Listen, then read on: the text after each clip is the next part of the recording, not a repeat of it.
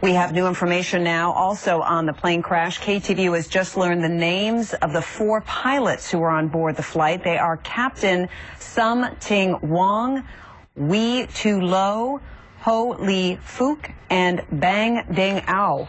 The NTSB has confirmed these are the names of the pilots on board Flight 214 when it crashed.